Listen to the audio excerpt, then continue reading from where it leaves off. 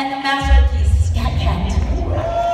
Now here's the first thing. My record company was so excited they decided to release a seventh single, and it sold 8 million more copies on top of the 18 million I already sold.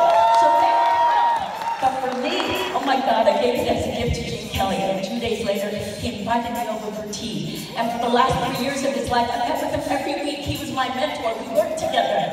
Just goes to show you, when you walk in gratitude, miracles can happen.